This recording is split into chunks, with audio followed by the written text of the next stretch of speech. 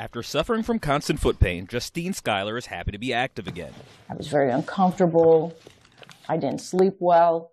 It's very painful because you're on your feet all the time. So that's when I decided to look into having it redone. Due to the unbearable pain in her left foot, Justine had to stop doing the things she loved, like hiking, playing tennis, and spending time chasing around her dog, Hank.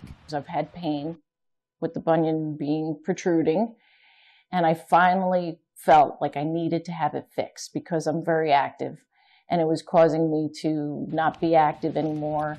After spending years visiting various doctors and trying other solutions to put an end to the discomfort, Justine discovered Dr. Brad Schaeffer last October. She also learned about a procedure to correct her problem Lapiplasty 3D surgery. We're taking the whole construct of the bunion and we're shifting it over at the base and holding it in place down here in a three dimensional plane.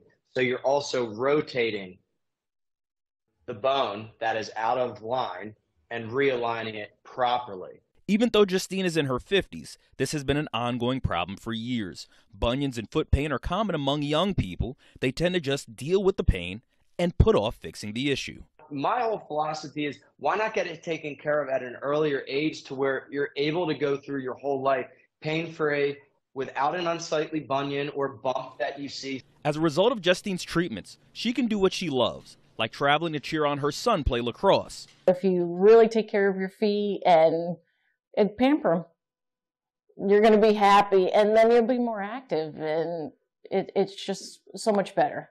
I'm I'm happy I did it. Corey James, Spectrum News.